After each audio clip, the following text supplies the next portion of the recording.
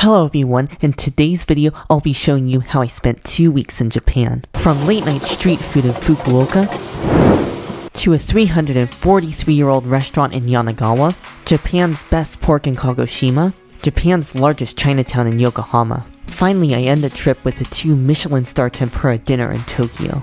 This is how I spent 14 days in Japan.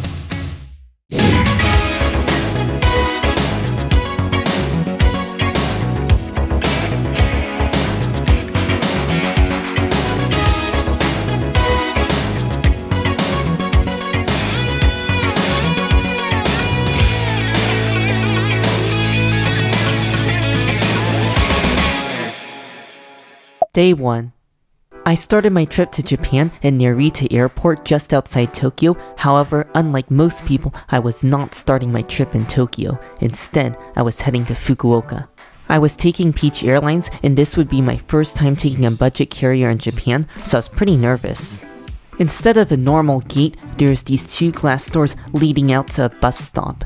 Somehow an entire plane full of people was packed into two buses and it really felt like we were shoulder to shoulder and it was so hot and stuffy inside the bus. Eventually we made it to the plane waiting for us on the tarmac and it was so loud and it smelled like gasoline outside. On board the plane I had to squeeze into the seats and I'm only 5'3". This was definitely the smallest airplane seat and the least amount of legroom I've ever had on a flight. To make matters worse, we departed 30 minutes late. At least the ground crew waved to us as we set off, which is the tradition in Japan. Moments later, we took off. I was treated to a panoramic night view of Tokyo. If you look close, you can even see Tokyo Tower.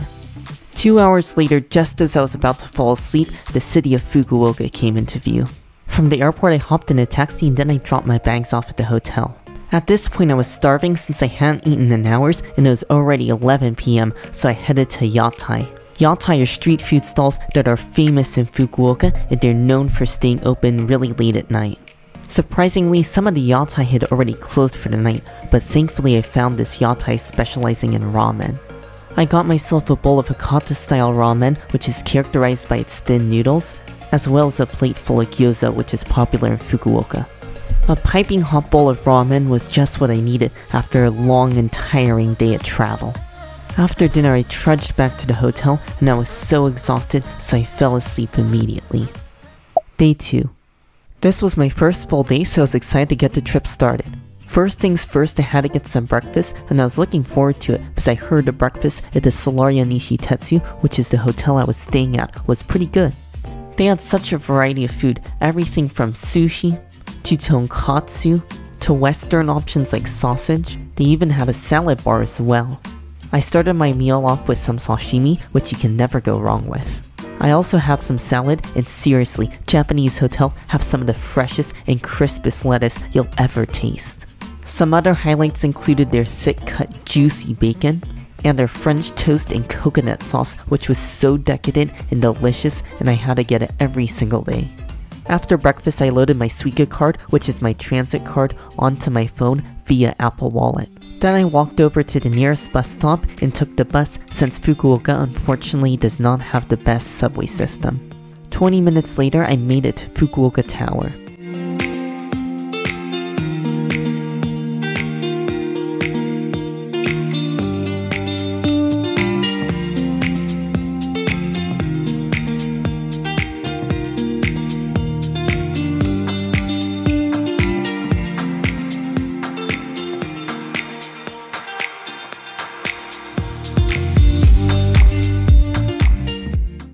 The observation deck, you get beautiful views of the surrounding area, and it seems like every Japanese city has at least one tall tower.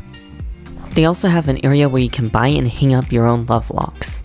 On my way out, I saw Fukuoka Tower's mascot, and it really seems like the Japanese have a mascot for literally everything. Then I hopped in a taxi and headed off to lunch at a very unusual restaurant. I stopped by Hakata Toyoichi, which is a specialty seafood restaurant, and my gosh, it was packed. There was literally a 30 minute wait. Placing my order was really difficult since you have to order on a tablet and I cannot read Japanese. I ordered various types of live shellfish and they brought them out on a grill. The abalone was literally still moving. The abalone was sweet and tender, and clearly it was no surprise as it was so fresh. The main thing that this place was known for, however, is their 70 cent sushi. Yes, you heard that right, each piece of sushi is only 70 cents. The value of this was just unmatched since they served thick slices of fish on top of the rice. On top of that, they were using high quality fresh ingredients like Kyushu salmon. After lunch, once again I hopped in another taxi. I stopped by Daimyo Soft Cream, which serves soft serve ice cream, which is one of my favorite Japanese treats. The milk soft cream was milky and smooth with a luscious texture, however it wasn't quite as good as the Hokkaido soft serve I had when I was in Hokkaido last year, and I was really missing that. Afterwards I took a walk to Mitsukoshi, which is a luxury department store. After arriving at Mitsukoshi, I headed down to their basement immediately which is full of food.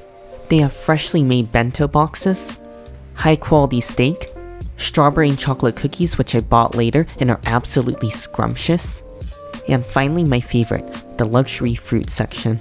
These giant apples will set you back $5. How about $13 cherries? Or $40 mandarin oranges? They even have a $200 melon which I might try later on in the trip. I bought these $26 grapes, which are the best grapes you'll ever try.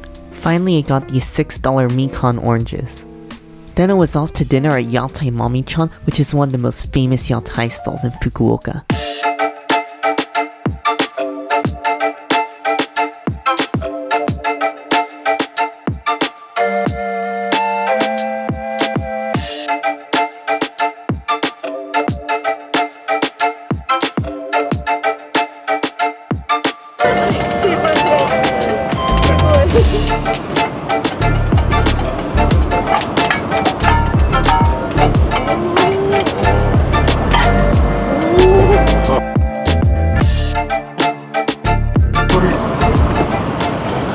Guy was literally ninja, and it was so fascinating to see him cook in the kitchen with his speed and efficiency and just masterful skill. I started with the mentaiko omelet, which is an omelet filled with salted spicy cod roe, and it actually tastes a lot better than it looks. It was so juicy, the eggs were cooked perfectly, and the mentaiko turned it into a flavor bomb.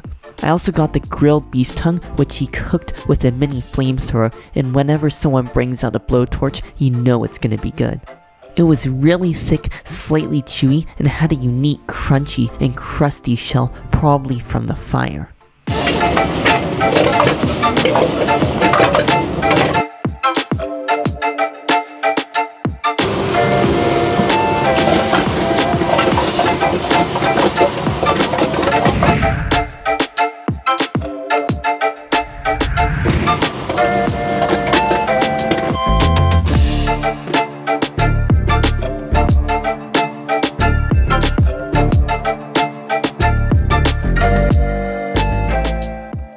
Ended the meal with fried rice and it had a rich umami flavor coating every single grain of rice. This was an incredible dinner that came with an even better show and it's something you must do when visiting Fukuoka. Then I headed back to the hotel to try some of the luxury grapes I bought earlier. Without a doubt, these are the best grapes you'll ever eat in your entire life. They have a rich sweetness and such an intense and luxurious perfume-like flavor. And just like that, my first full day in Japan had come to an end. Day 3. The next morning, I set off on a day trip to the city of Yanagawa, which is known as the Venice of Japan due to its many canals. I was excited since this would be my first time taking a train on this trip.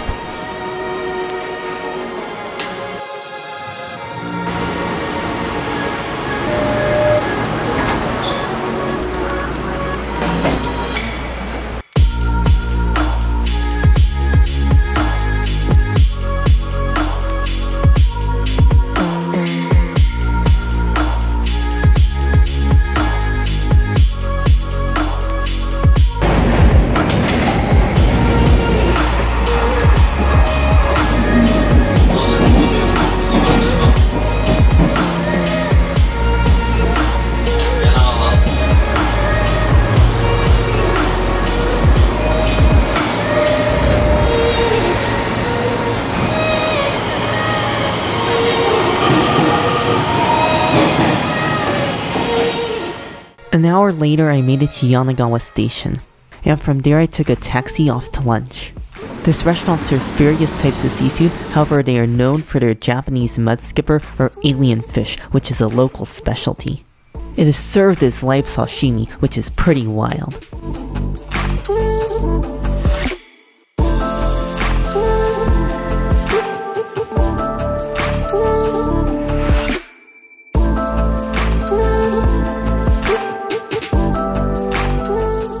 There were two varieties, a lighter fish and a darker fish.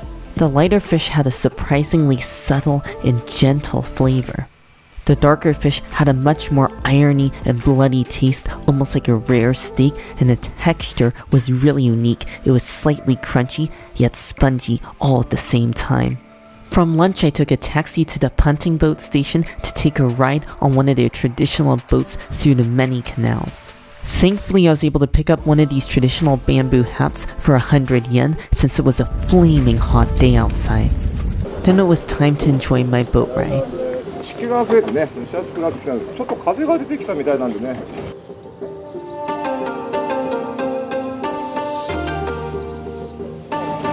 4つの長橋がありましてねいやもう風があるないで随分と違います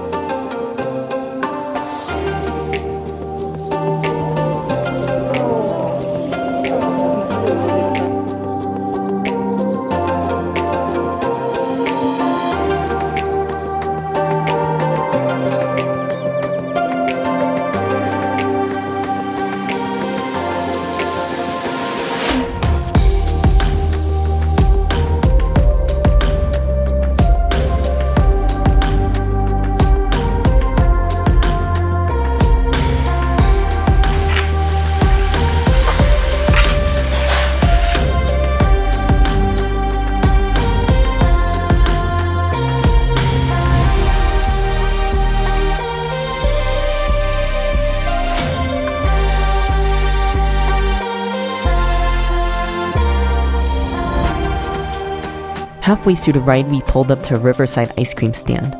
For 400 yen, I had myself some strawberry soft serve, which was sweet, slightly tart, with a rich strawberry flavor, and it was just what I needed to cool down. Moments later, we were back on our way down the canal.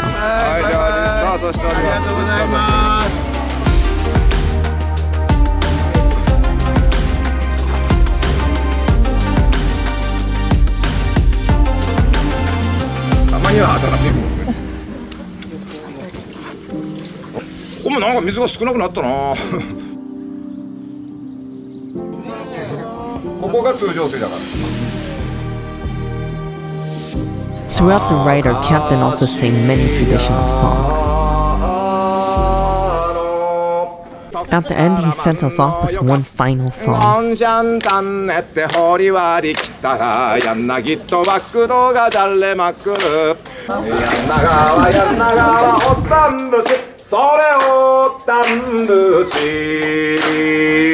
Thank you!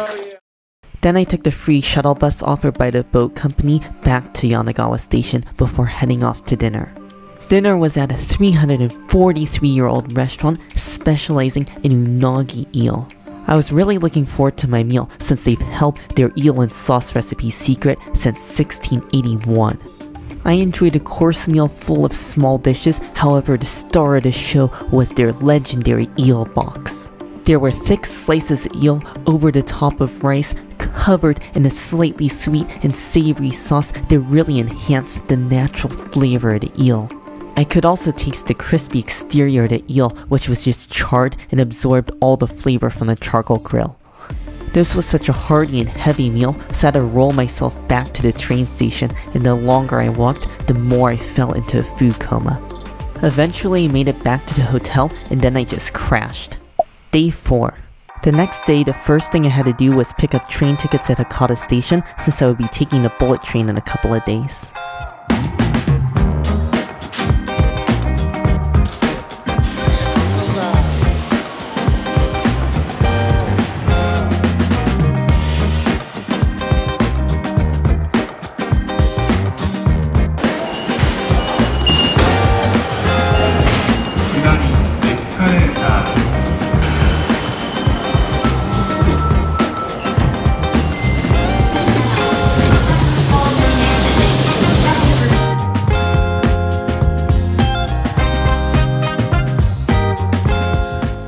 Eventually, I picked up my tickets for when I would head to Kagoshima in a couple of days. And then it was off to lunch.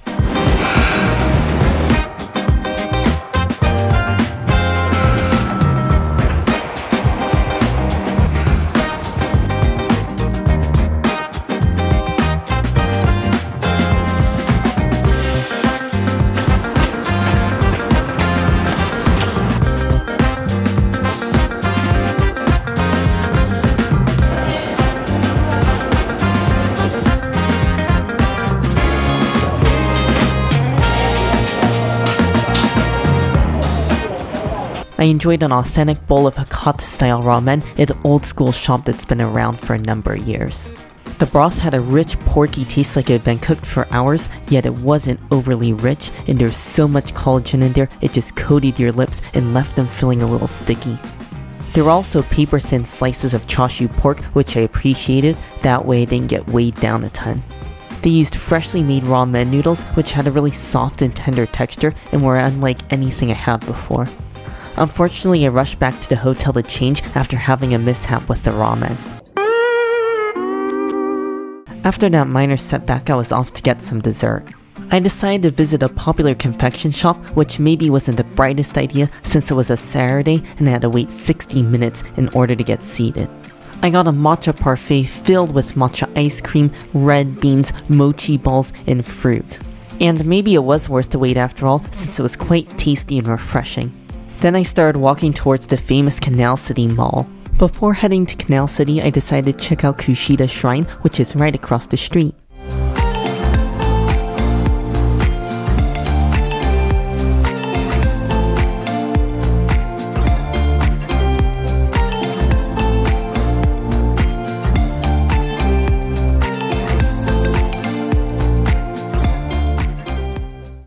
After relaxing for a bit at Kushida Shrine, I walked back across the street to Canal City to see their famous water show.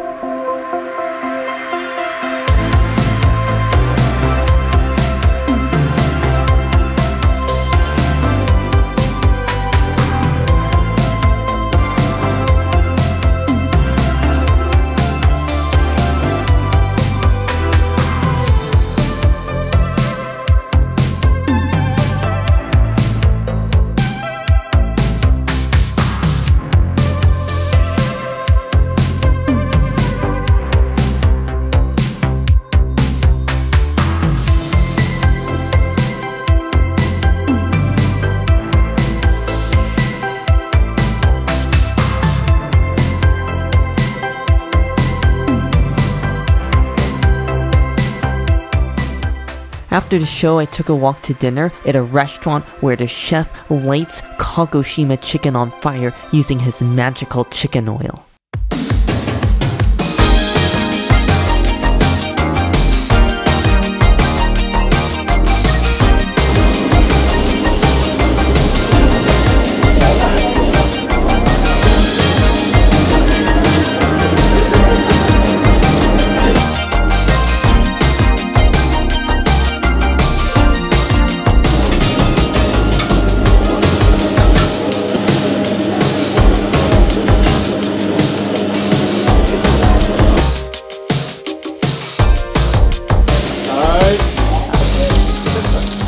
I had everything from chicken thigh to breast, neck, skin, and even boneless chicken wings.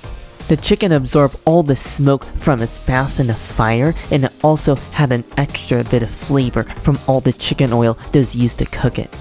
I also loved talking to the owner who had such a fun personality. I really appreciated him letting me film inside the kitchen since no one has ever let me do that before. Through his cooking and his jovial personality, I can really see his passion for what he does. With a full belly and in high spirits, I headed back to the hotel. Just like that, another night in Fukuoka was done. Day 5. It was another bright and sunny day in Fukuoka, and I decided to head to Ohori Park right after breakfast, which is one of the largest and most popular parks in Fukuoka. First off, I took a walk across their large lake.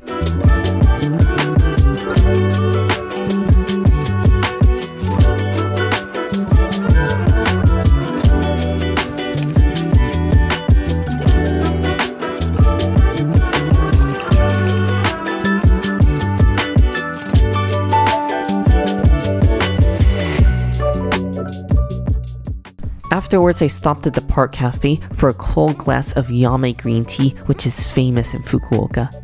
It had a unique sweetness to it, and I could definitely tell it was high quality tea. After resting up for a few minutes, I headed off to their Japanese garden that is inside of the park.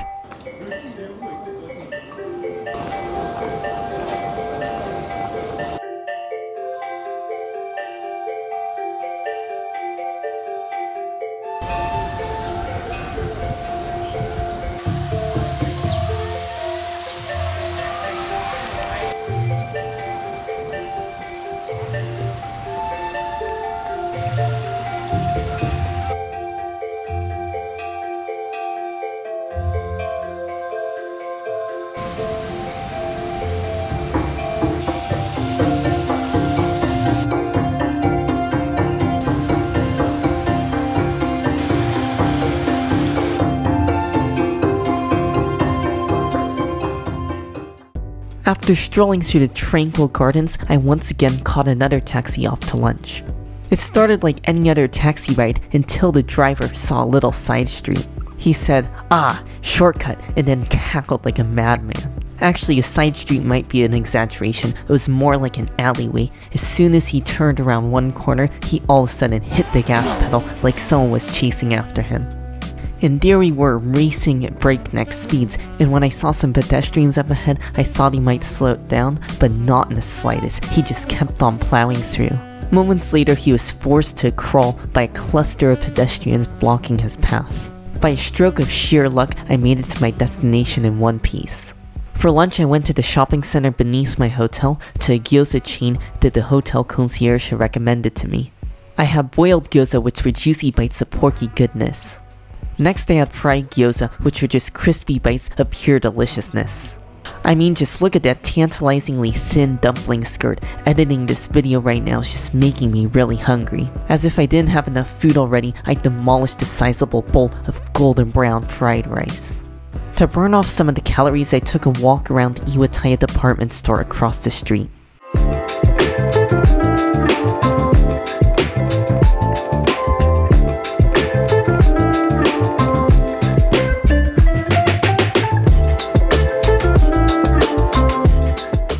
Next, I walked to a popular kakigori shop that I found on Google, and boy, was that one of the best decisions I could have made. Kakigori is Japanese shaved ice, and it's probably my favorite summer dessert. I got the strawberry kakigori made with Fukuoka Amaou strawberries, which are some of Japan's best strawberries. It is topped with whipped cream that has been shipped from the factory in under 2 hours, and I didn't even know that was possible. Without a doubt, this is the best shaved ice I've ever had in my entire life, and I think the ingredients speak for themselves. They are also really generous, and they give you even more strawberry sauce to add on top. Afterwards, I took a walk through the underground Tenjin shopping streets. The ceiling had a fascinating design, it was just like a metal lattice cover that was really intricate. Then I rested up at the hotel before dinner.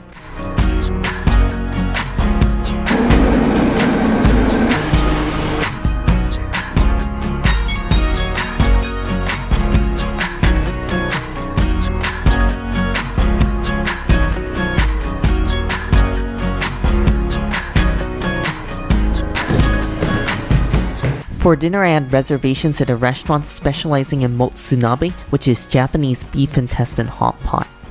Now, I know what you're thinking. You're probably like, ugh, beef intestines, how good could it really be? Well, in my honest opinion, it is so delicious. It's like a thin, chewy strip of meat, and just attached to it is a big, huge cube of buttery, rich beef fat. Going along with that, you toss in a huge plate of vegetables and tofu, and everything all together just absorbs the rich, heavy, salty miso broth. To end the meal, I tossed some champon noodles into the broth and boiled them until they were perfectly chewy, and this is how the locals like to finish their motsunabe. The noodles just sopped up the oil slick on top of the broth from all the beef intestine cooking, and it was definitely a heavy end to a giant hot pot meal. Dazed and in a heavy food coma, I stumbled back to the hotel after a day of overeating. Day 6. This was my last day in Fukuoka. The first thing I did was head over to Uniqlo to do a bit of shopping in the morning. Then I walked back to the same Iwataya department store I was at the day before to have some lunch.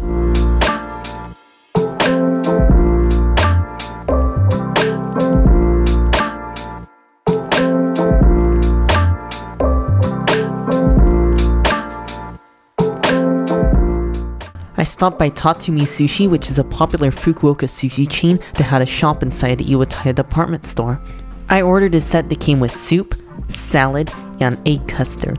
Of course, the set came with many various types of sushi. There was squid, this one with hot peppers on it, inari, and of course tuna.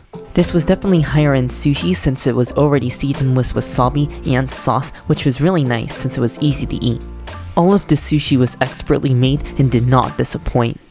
After lunch, I headed off to 308 year old tea house.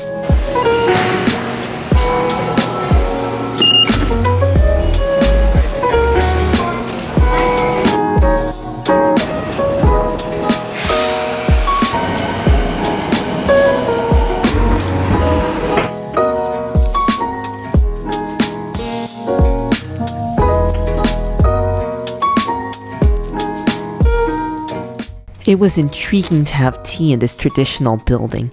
I enjoyed a hot cup of their coveted Yame matcha tea. It was extremely thick because of all the matcha powder they used, and on top, it was light and frothy. The tea also had an unparalleled depth of flavor. You could really taste all the sweetness and umami fragrance. Because the tea was unsweetened, it came with a side of candied sweet potatoes, which had a delightful sugary crust. There was also a green tea financier which had such a aromatic and light sweet flavor and was gone in just a few precious bites. I couldn't leave empty handed so I bought a massive amount of tea and then I was off again.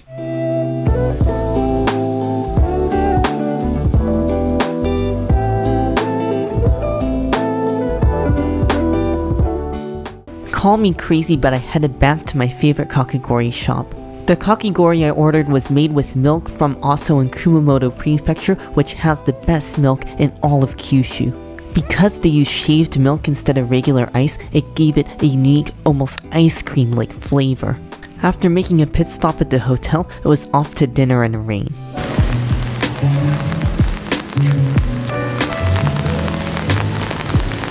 I went to a higher end yakitori restaurant and I got a massive amount of grilled chicken skewers and it's safe to say that I overordered. I got tail, heart, gizzard, thigh and green onion, and the chicken lantern whatever the heck that is. I ordered even more skewers off camera and it's safe to say by the end of the meal I was pretty tired of chicken. That night I tried to get to bed ASAP since the next morning I'd be leaving to Kagoshima. Day 7 after breakfast, I checked out and headed off to Hakata Station.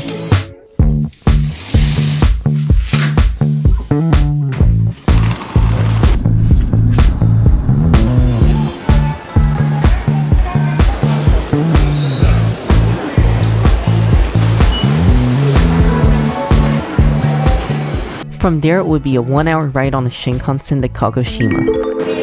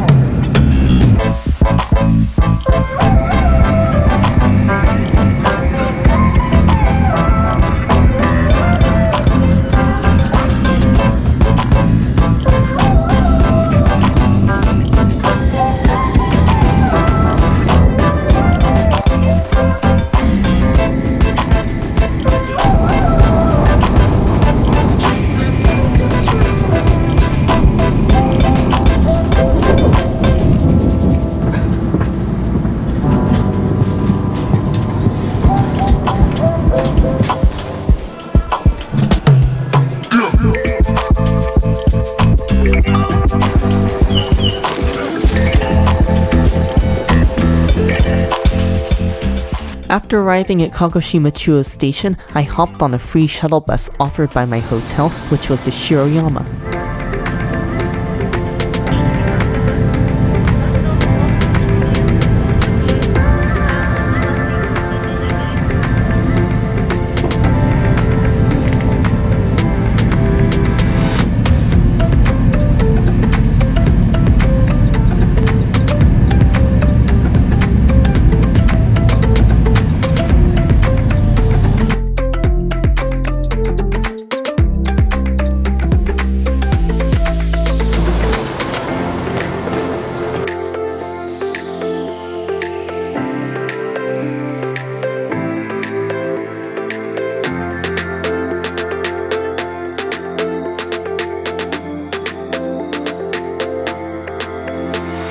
After arriving, I enjoyed lunch at one of their nine restaurants, which is a pretty insane thing to say. I ordered a set lunch that came with seaweed salad, which had a beautiful earthy flavor.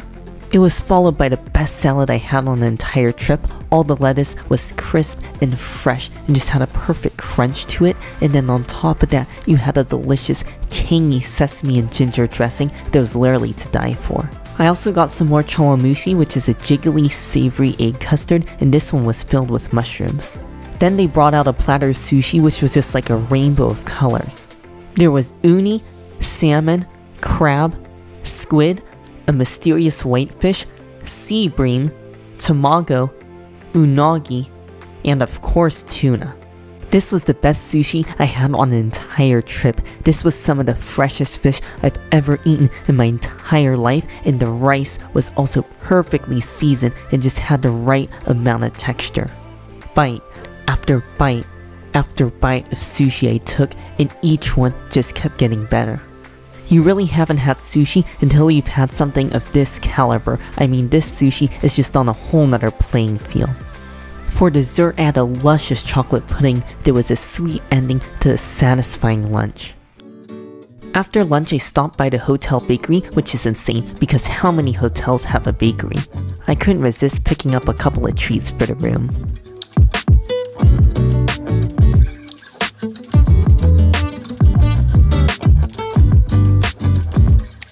At this hotel, they even have a fancy cafe, and I always saw plenty of people in there. Right behind the hotel, you have breathtaking views of Sakurajima, which is a giant active volcano overlooking the city of Kagoshima.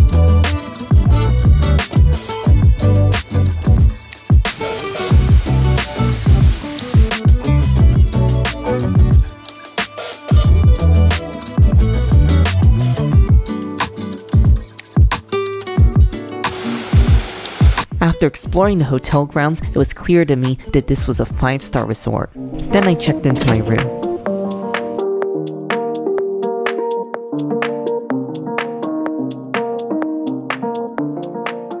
To the right of the front door, you have a large mirror, and then beneath it you have two types of slippers. The first one is your room slippers, and then they also give you pairs of slippers to wear to the hotel onsen, which is a hot spring bath. The room is also stocked with coffee, tea, cups, and an electric kettle. This is the bathroom which comes with a marble countertop and two sinks, and just off to the side, they also have the bathroom amenities. Just down the hallway, you have the main part of the room. There's not two, but four beds in total, so it's very spacious and roomy. The best part of the room is the view, since you can see the city of Kagoshima and the active volcano that overlooks Kagoshima, Sakurajima. Then it was almost time for dinner, which I was really looking forward to since I would be trying Kurobuta black pork. This is known as Japan's best pork due to the high quality texture and flavor of the meat. It's said to taste four times more flavorful than your typical pork because these pigs are raised on a special high quality diet. I could not contain myself any longer, so I was off to try Kurobuta pork in its tonkatsu form.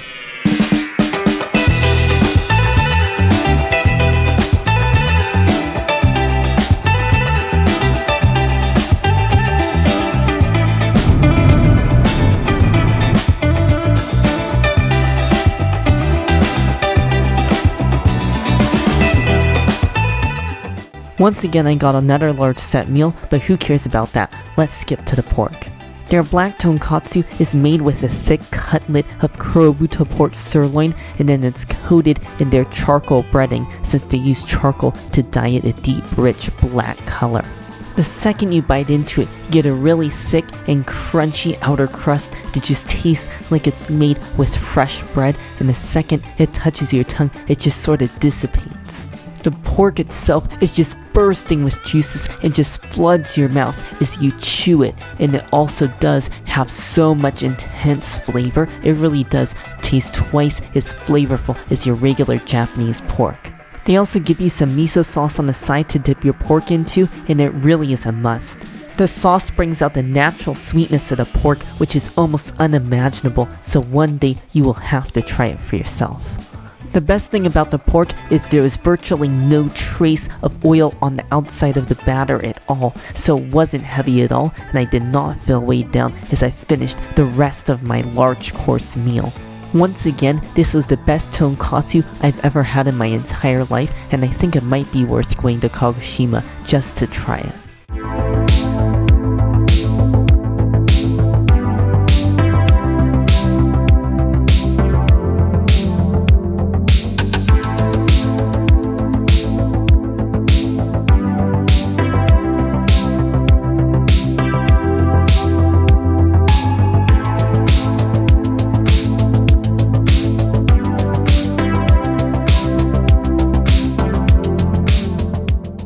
For whatever reason, when I arrived back at the hotel room, I still had room to try a couple of treats I picked up at the bakery earlier. I started with their famous apple pie.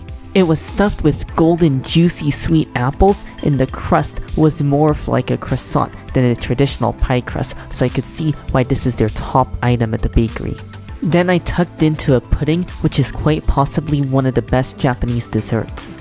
The pudding was so smooth and velvety and had a rich, eggy flavor, and it was sprinkled with vanilla beans, which really made it such a pleasant eating experience. I ended the night at their natural hot spring bath before heading to bed. Day 8. The next morning I headed down to breakfast since the Shiroyama has the highest rated hotel breakfast in Kyushu.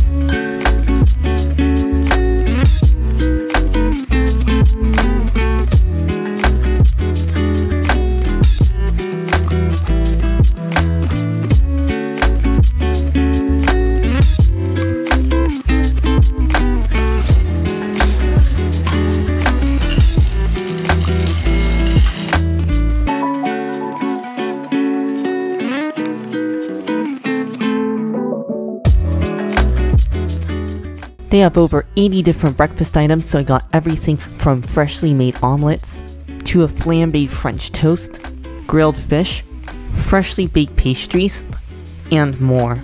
There was also a massive amount of servers. This definitely reminded me of Squid Games. After finishing up, I think it was safe to say that this is the best hotel breakfast in Kyushu and it lives up to all the hype as it's really something to behold. From the hotel, I took the City View bus to Kagoshima's most popular attraction.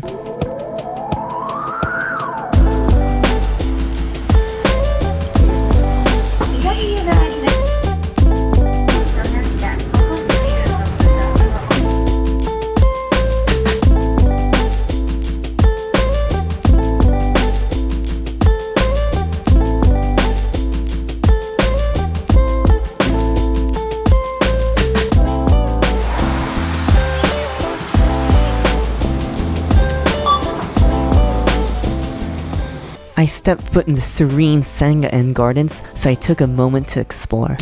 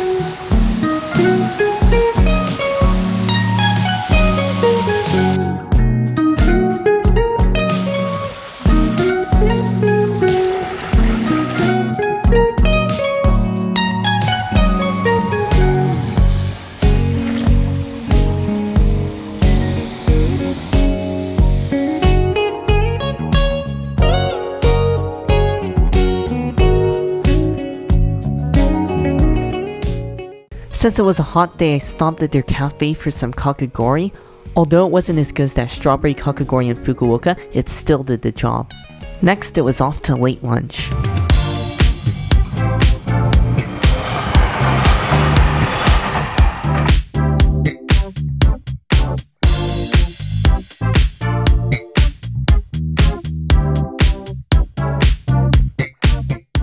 I made it to a popular conveyor belt sushi shop and then I had to wait half an hour before getting seated. I got a variety of sushi off the conveyor belt and it was surprisingly high quality, especially since conveyor belt sushi tends to be on the affordable side, and affordable this sushi was. I got these 15 plates of sushi for only $40. Then I took a walk through downtown Kagoshima to burn off some of the calories. I arrived back at the hotel only to see Sakurajima erupting. Apparently eruptions are just a part of daily life in Kagoshima and people are pretty accustomed to it. Then I left for dinner to get Kurobuta pork hot pot.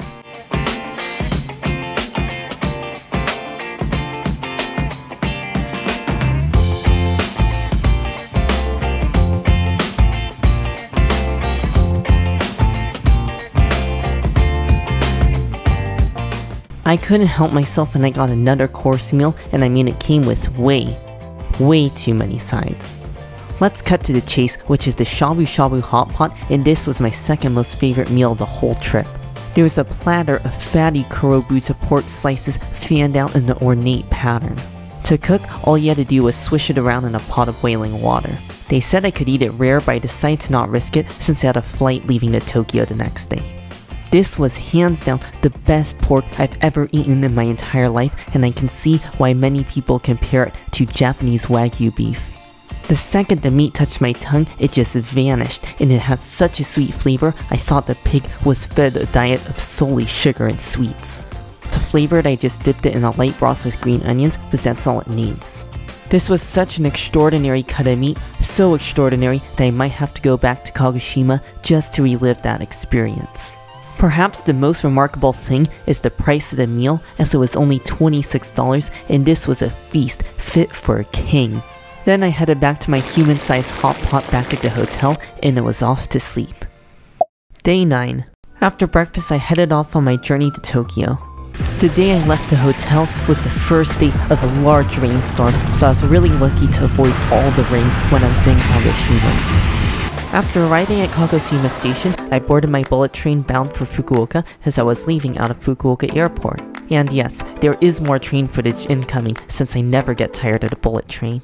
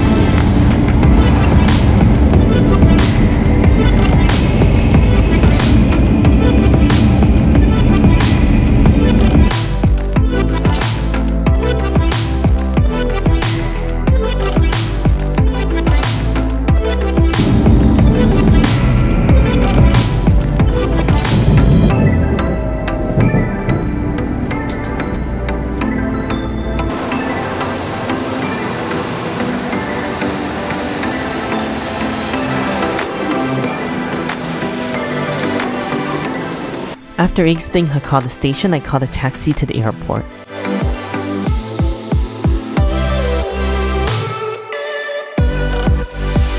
After dropping off my bags, I found a set meal restaurant for lunch. I got this set lunch, which came with stewed vegetables, sashimi, and stewed fish heads. The vegetables were juicy and flavorful, and the sashimi was surprisingly fresh. You're probably thinking that the stewed fish heads couldn't possibly be good. However, that is actually far from the truth. The head has some of the most fatty and flavorful meat on the entire fish, and on top of that, it's just soaking in a really dark soy sauce which has so much strong and earthy flavor that goes perfectly with the rice they give you on the side. Japanese airport food is so underrated, it really just tastes like food from a local restaurant, so if you ever find yourself at the airport in Japan, you must have at least one meal there.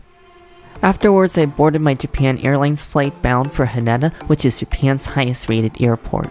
This was so much more comfortable than my Peach flight, and some might say it's miles better. Airplane puns aside, there was a reasonable amount of legroom, and the seat had a pretty nice recline, plus there was even a screen. I took off from Fukuoka with rain streaming down the windows, and then eventually we broke through the clouds. Halfway through the flight, we were also served drinks, and I just got myself hot green tea. Just before landing, I was treated to beautiful views of the majestic Mount Fuji, which is a rare view since it is often hidden behind clouds or fog.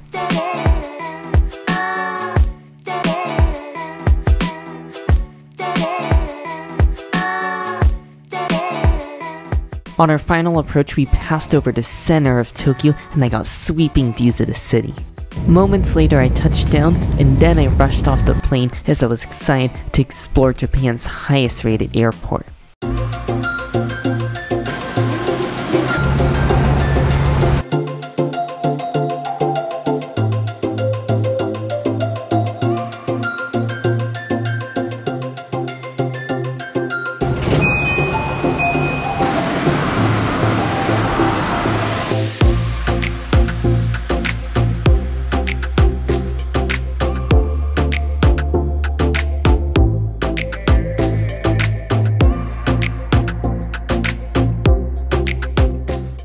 For dinner, I stopped by Godaime Hanayama Udon, which is one of the most popular udon shops in all of Tokyo, and I'm surprised that they have a branch at the airport since they make their noodles fresh, even at the airport location.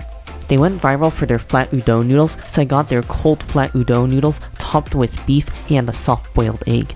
This udon is a thousand times better than anything you get outside Japan. The fresh, cold noodles make all the difference because you really get a fresh, soft chewiness to them, and then on top of that, you have the fatty slices of beef and the creamy egg yolk. After dinner, I walked around the airport for a bit. There was this one restaurant specializing in all you can eat Kobe Wagyu beef, which I thought was pretty crazy for an airport since it was such an expensive and fancy place. There's also even an entire hotel stuffed inside the airport somehow. Then it was time to take the Tokyo monorail to my accommodation for the next few nights, which was the Strings Hotel.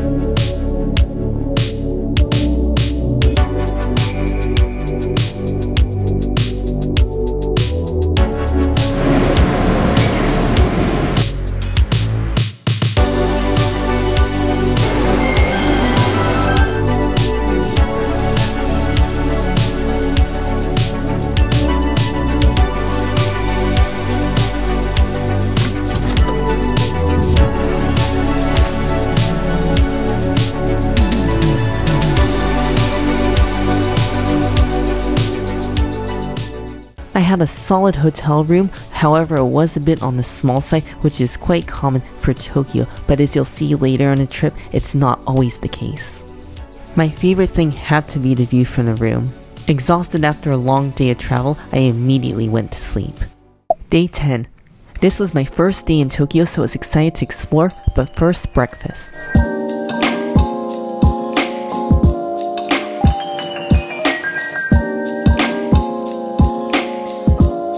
While the breakfast buffet looked appetizing, unfortunately, this was the worst food I had on my entire trip.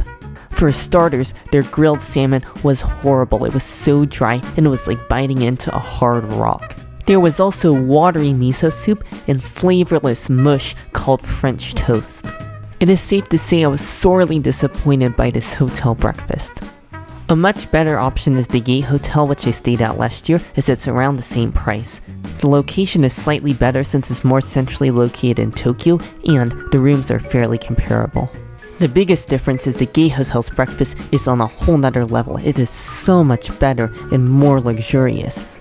They have freshly baked bread, imported butter from France, a giant slab of fresh honeycomb, and a proper French toast that is sandwiched with two slices of bacon and was oh so scrumptious. I know I just got sidetracked, but after my disappointing breakfast, it was off to Shinjuku.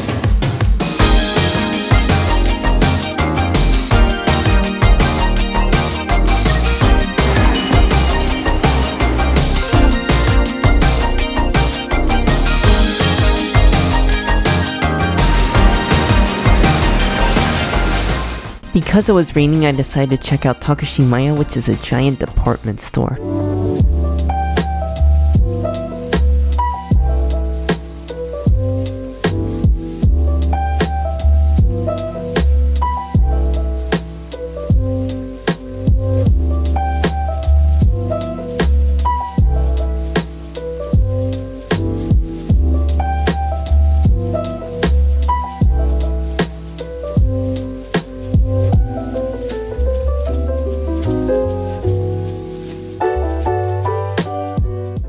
For lunch, I stopped by a soba restaurant on the top floor of the department store. I ordered a steaming bowl of the smoked duck soba, which is my favorite type of Japanese soba. There was a light broth with such a rich and smoky flavor from all the duck meat in there, and then the duck itself was thickly cut with just a sliver of fat on top, making it all the more indulgent and tasty. The soba noodles were made with hand-milled buckwheat, so they had a really pleasant, chewy, and tender texture, and this hot bowl of soba was the perfect thing on a rainy day. After lunch, I headed back to the hotel, and I tried a couple of treats that I picked up at the department store. I started off with a muscat grape covered in mochi. The mochi was such a thin and soft delicate layer surrounding a crisp, fresh, juicy muscat grape and I just love the natural fragrance and aroma of the grape. I also had to try to see wayaki, which I saw them making earlier at the department store. It's basically like two pancakes cooked on a griddle, and then it's filled with red bean paste. It was just like two thick, fluffy pancakes, almost as if they were a cake, and then the inner red bean filling was smooth with large pieces of red beans in there as well. Probably the best thing about this dessert is it was really light and it wasn't overly sweet. Around an hour later, the rain finally passed and it was time to head off to dinner. I found a restaurant in the back streets of Akihabara, which is a neighborhood I had never explored before, and this restaurant specialized in monkfish, which is a deep sea fish that looks really scary. Despite that, I was really excited since monkfish is a really rare and treasured delicacy in Japan.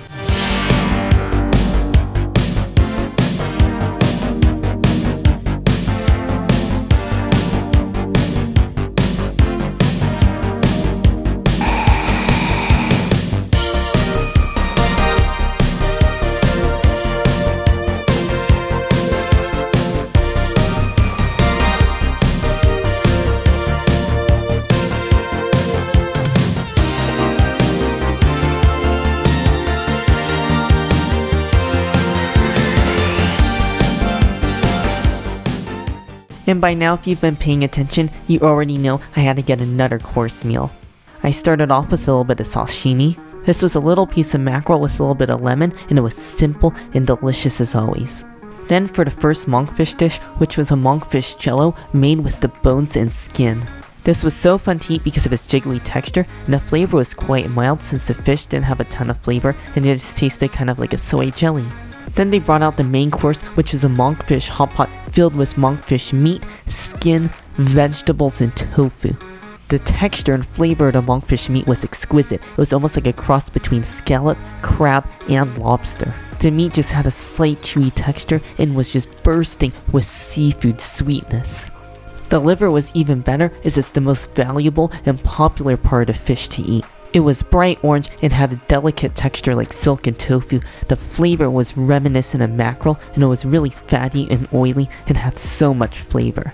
After I'd finished the hot pot, the broth remained and to it they added some fresh rice, turning it into a luxury rice porridge. The rice just absorbed all the flavor of the broth, which had a really deep soy flavor, and you could also taste all the vegetables and the fish as well. However, it just took all the natural sweetness from the fish. There was no fishiness to it at all. It was also topped off with green onions for a fresh crunch. After dinner, I took one last look at the sea monster I had just devoured, and then I walked back through the heart of Akihabara back to the station.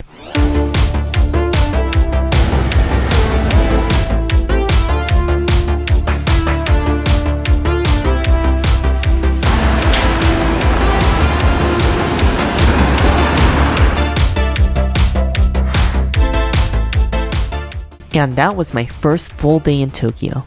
Day 11. The next day I headed off to Yokohama to meet up with my friend who lives there, and it's only 30 minutes away by train.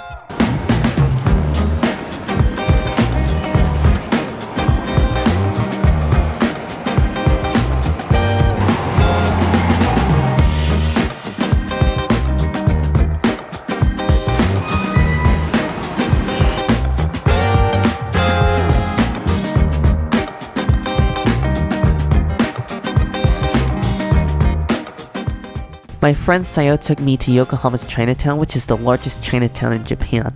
First, we stopped by the shop specializing in soup dumplings.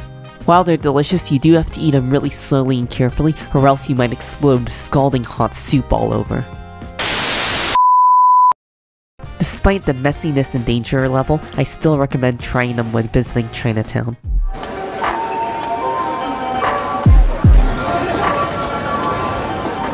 Next, Sayo took me to a stand selling her favorite dessert in Chinatown, which is candy-coated fruit. This skewer I tried was grapes and strawberries covered in a thick sugar shell. There's something to be said for a simple treat like this that hits the spot. You have juicy fruit covered in a thick, crunchy sugar shell, and it's really sweet and satisfying. For lunch, we eventually found a restaurant with no wait, so maybe don't go on a weekend like we did since Chinatown was packed with tourists.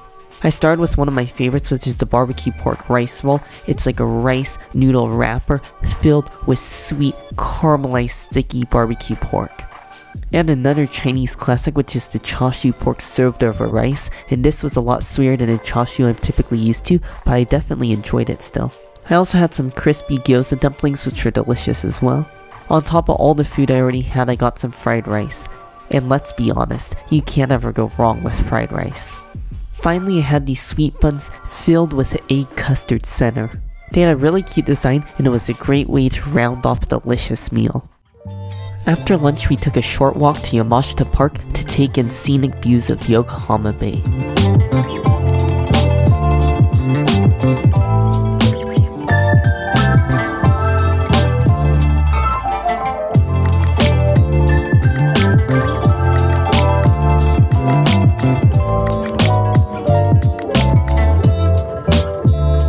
From Yamashita Park, we walked over to Yokohama's historic red brick warehouses, which are filled with shops and eateries.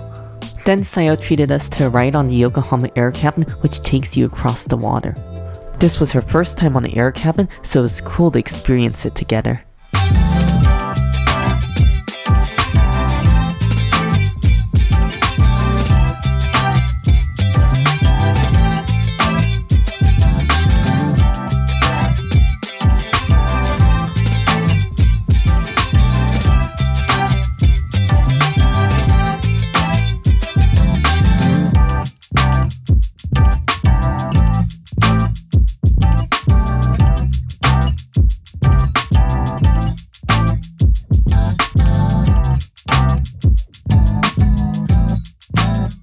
As it was a hot day after the air cabin, we stopped at a fruit parlor for a cold treat. I went for this fancy melon parfait to use high quality, aromatic, and sweet Japanese melon, and there was also a couple scoops of ice cream and sorbet. After 8 hours in Yokohama, I went back to Yokohama Station and then I headed back to Tokyo for dinner. I was craving sushi, so I decided to go to Sushi Zanmai, which is one of the most popular sushi chains in Japan.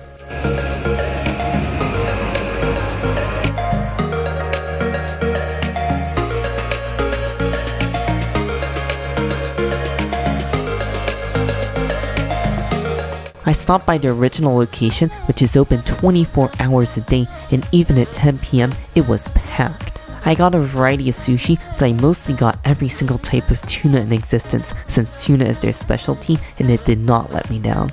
Back at the hotel, I dove into a couple of fruit sandwiches I picked up at the train station on my way back from Yokohama. The first one I had was strawberries and whipped cream, sandwiched between two slices of Japanese milk bread. The bread was light and airy, and then in between there a dense whipped cream which has so much rich dairy flavor and then juicy sweet strawberries. The next sandwich I had was whipped cream with the famous white Okayama peaches. The peaches had that iconic Japanese white peach flavor, they had such a rich and juicy texture. If you're in Japan, you gotta get your hands on some fruit sandwiches since they're totally underrated. Finally, after a long day of walking around and exploring Yokohama for hours, the day had come to an end. Day 12. The next morning I checked out the strings and I hopped in a taxi and then I headed over to the Conrad, which was my next hotel, and I just dropped my bags off there. From there it was just a short walk through the underground passage to the train station. At the train station they had a robot station master and this is seriously something you will only see in Japan. Then it was off to what is arguably Tokyo's most popular attraction, the iconic Shibuya Scramble Crossing.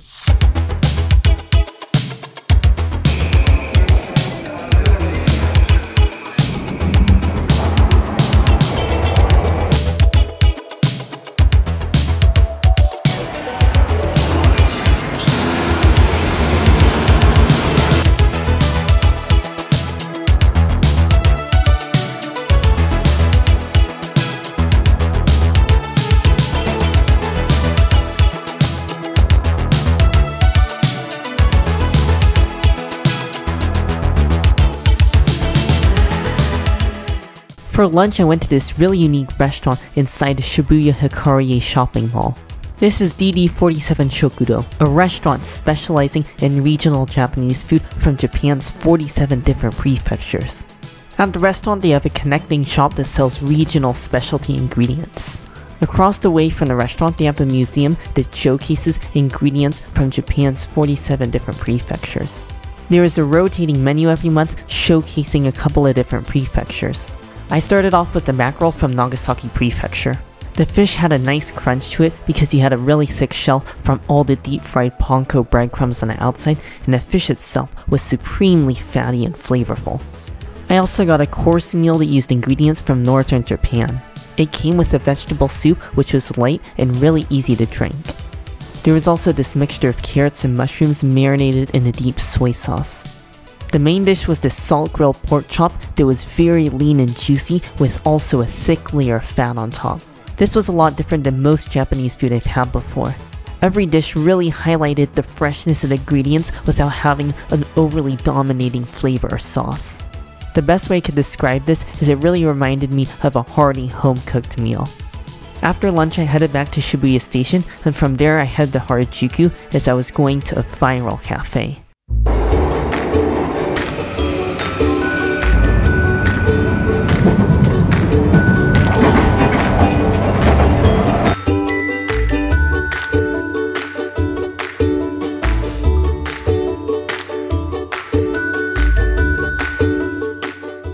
This is Cafe Reissue, which has become world famous for their 3D latte art. I had their vanilla latte with a Totoro milk foam design on top. As far as taste went, it was just a typical latte. It was very milky and a bit on the sweet side for me. The real reason to go is for the elaborate designs. Just look at that jiggle. I mean, how could you resist such a cute design? Then it was finally time for me to check into my hotel, which was the Conrad, and boy, if I only knew what surprise was awaiting me.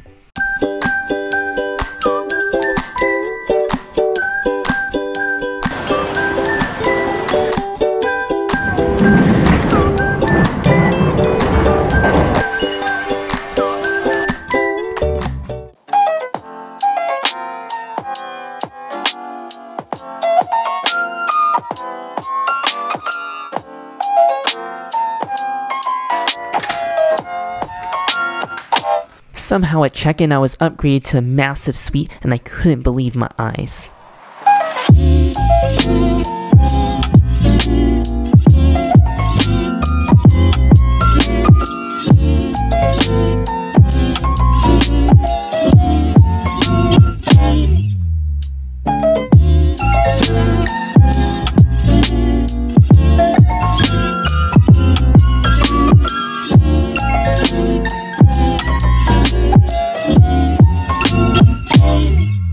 Now if you're interested in seeing the full tour of this suite, make sure to check out my playlist in the description down below where you can see the full videos for every single day of this trip.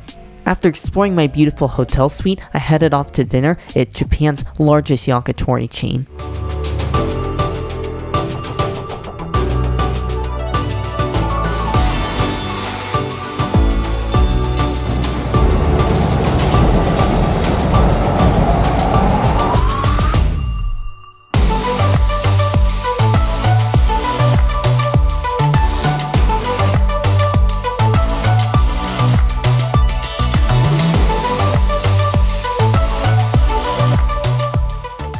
Torikizoku is famous for their extremely affordable yakitori skewers. Ordering is super easy since all you have to do is use a tablet. Some of my favorite skewers include the chicken hearts, gizzard, and meatballs. Just be sure that you have plenty to drink since these chicken skewers can get really salty after eating a few. While these may not be the best yakitori skewers, they'll still curb your craving and the price is unbeatable. You can easily get a massive amount of chicken skewers and drinks for $12 or less. That night I took in a beautiful skyline view of Tokyo Bay before heading to bed. Day 13. The next morning I woke up to a beautiful view of the city skyline and the Hamarikyu Gardens before heading down to breakfast.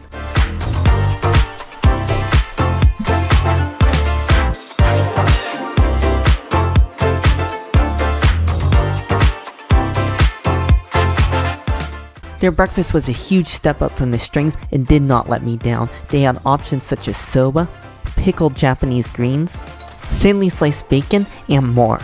My favorites included the miso cod and the raspberry lychee smoothie, both of which were expertly crafted and used high quality ingredients. One a la carte dish also comes with your breakfast, and the waitress recommended the mango brulee pancakes, so I had to try that. I'm so glad because no exaggeration, these are some of, if not the best pancakes I've ever had in my entire life. Biting into the pancakes is just like taking a bite out of a warm cloud, and then it's topped off with fresh, juicy sweet mangoes and a tangy mango sauce, and finally you have a dollop of creme brulee on top, making this my favorite part of the meal. After breakfast, I was off to Asakusa, which is one of my favorite areas of Tokyo.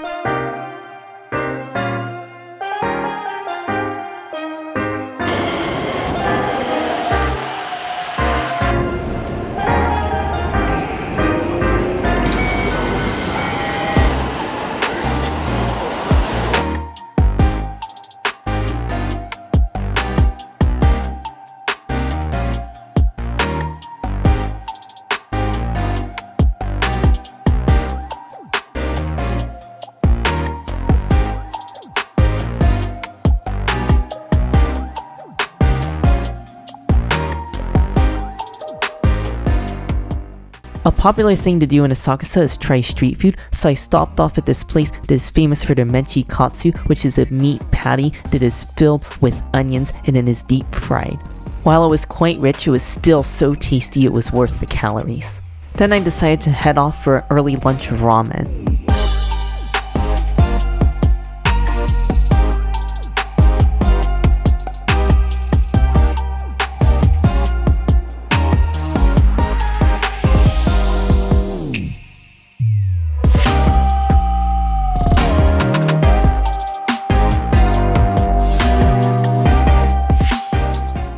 Was so excited because I found this ramen shop that is known for its $2.38 ramen, which is gonna be some of Tokyo's cheapest ramen. To order, you use a vending machine. All you have to do is insert your money, click the menu item you want, and then the machine spits out a ticket which you hand to the chef. The broth was quite light and flavorful since they use a shoyu broth instead of the typical tonkotsu. The noodles were fresh and had a springy texture as they should. I was shocked by the quality of this ramen since it was just as good as a bowl that could cost 3 to 4 times as much. After finishing up, I headed off to get some dessert.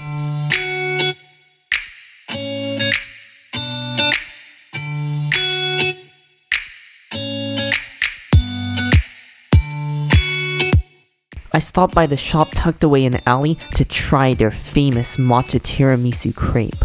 There's a paper thin matcha crepe just holding together the center, which is a mixture of matcha cream and mascarpone and is topped off with even more matcha powder. This is perfect for a matcha obsessed person like myself. After devouring up that scrumptious crepe, I headed off to get one more sweet treat.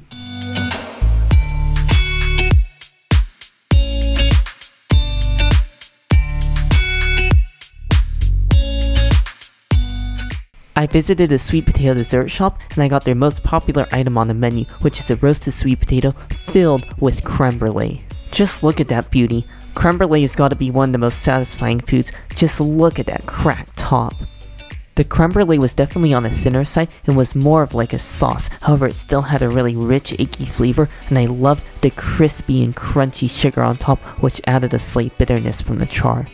The sweet potato on its own was ridiculously sweet as well, since it was roasted for hours, which gave it a really chewy, sticky, and caramel-like texture. Afterwards, I stopped by the famous Don Quijote, which is the giant Japanese superstore, and it was just around the block, since I needed to pick up a suitcase. The reason I got an entire suitcase is because when I was in Japan I got so many different souvenirs and I needed to bring them all home. After dropping my suitcase off at the hotel, I was heading to dinner in Tsukishima, which is this little man-made island that is only a few stops on the subway away from the Conrad.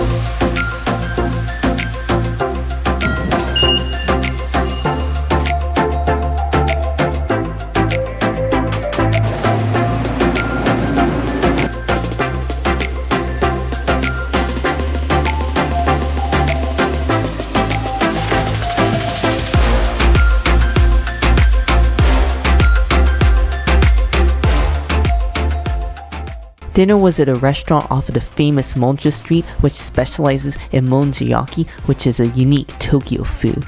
But before that, I started off with an appetizer grilled squid, and what makes this restaurant really special is they have a teppanyaki grill right at your table, so they cook all your food right in front of you. As they were grilling the squid, they broke open the innards and mixed that in, which I did not expect them to. However, they did add butter and soy sauce, and doesn't butter and soy sauce make everything taste better? The answer is yes, butter and soy sauce just gave it a rich, earthy umami flavor, and you would not know that you're eating squid mixed with its innards. Then it was finally time for them to make the monjayaki. I ordered the squid ink monjayaki, which came with a variety of vegetables, squid, and a whole bunch of dark black squid ink. In short, monjayaki is basically like a thin pancake batter that is mixed with various types of meat and vegetables, and then it's just slowly cooked down on a griddle, longer and longer, until it turns into a sort of paste. I know at this point it really doesn't look too appetizing and it looks like a pool of bubbling black tar, but the smell coming off of the grill was just insanely good. It literally tasted a thousand times better than it looked. The texture of the batter was almost like a luscious and rich Thanksgiving gravy, and it was filled with little crunchy pieces of cabbage and slightly chewy pieces of squid. This is my favorite type of meal where the food is just cooked in front of you fresh, so I think when you're in Tokyo, monjayaki is something you definitely have to try. And just like that, my two week trip had almost come to an end. Day 14. This was my final full day in Japan. At breakfast, I decided to try the lobster omelette this time since I heard people rave about it on Google reviews. While it wasn't as tasty as the pancakes I had the previous day, it was still very solid. It was a well cooked omelette, and I loved the large pieces of lobster on top. After breakfast, I headed off to the famous Tokyo Skytree, which is the tallest tower in all of Japan.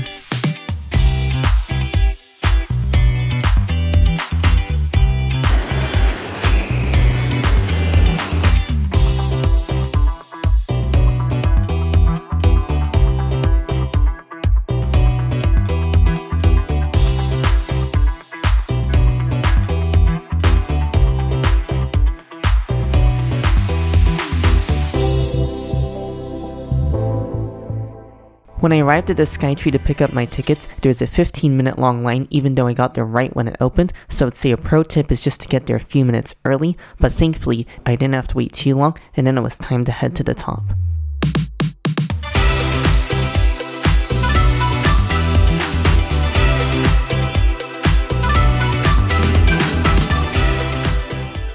This is the view from the Tembo deck, which is the lower observation deck, so yes it is quite crowded and full of people, but you can still get some pretty decent views.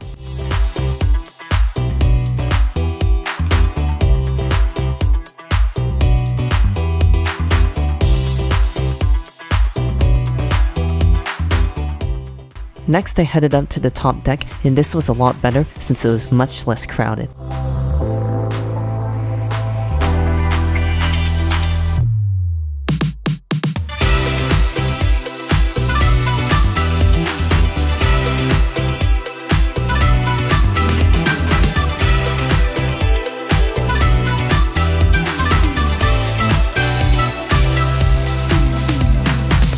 After taking in the highest views of Tokyo, I took the elevator back down a couple of stories. On this level, you can walk on top of a glass floor. Walking on the glass floor is quite sketchy, yet also fascinating all at the same time. Just be sure to tread lightly, or else... Oh no, you've just fallen from the third tallest freestanding tower in the entire world.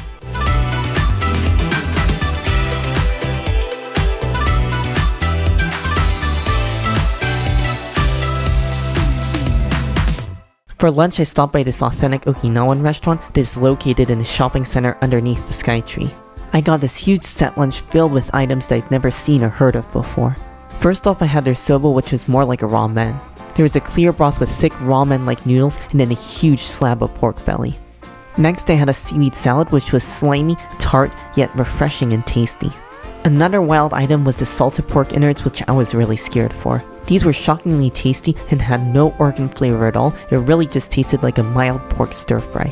Finally, the dish I was most excited about was a stir fry with bitter melon as well as pork and eggs. This was easily my favorite dish. The bitter melon was unlike anything I had before. It was almost like a slightly bitter eggplant, and then with it, there's just fatty pieces of pork and just an almost mixture of scrambled eggs.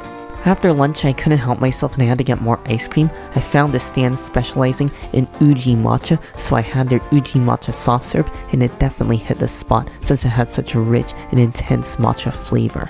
Then I headed back to the hotel to get changed, and then I was off to Tempura Kondo, which is a 2 Michelin star omakase tempura restaurant. If you haven't seen a full video yet, you definitely have to check it out because I tell the fascinating story of Tempura Kondo. But either way, eventually I headed over and I made it just outside Tempura Kondo. Immediately after being seated, I was served various different types of appetizers. Then it was finally time to try the coveted tempura freshly fried up by 77 year old chef Fumio Kondo. To launch off the tempura feast, I started with their scallop. It just had such a thin, crispy batter, and the scallop itself was so tender, it just melted in your, in your mouth, and it had just an immense, sweet flavor.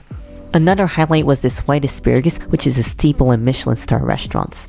It was much more tender than your typical asparagus and had a much more delicate and refined flavor compared to just green asparagus. This fish also knocked my socks off because of how juicy and sweet it was, and just like all the other pieces of tempura I had, it wasn't greasy in the slightest. After another 10 large pieces of tempura or so, they brought out this little set. They came with more tempura, rice, and miso soup. For dessert, they brought out this platter of muscat grapes and luxury melon. The muscat grapes were perfect as always, sweet with just a rich fragrance. The melon was easily the best I ever had due to its rich texture of juiciness, intense sweetness, and fine flavor. It was so satisfying to finally eat one of those expensive melons that had really been teasing me the whole trip just sitting there in all the department store windows. This was my favorite meal of the trip and an epic way to end off an incredible journey. That night before I went to sleep and left early the next morning, I took some time to reflect on my two week adventure. This trip was full of travel, from racing through the Japanese countryside at supersonic speeds on a bullet train, to flying over Mount Fuji.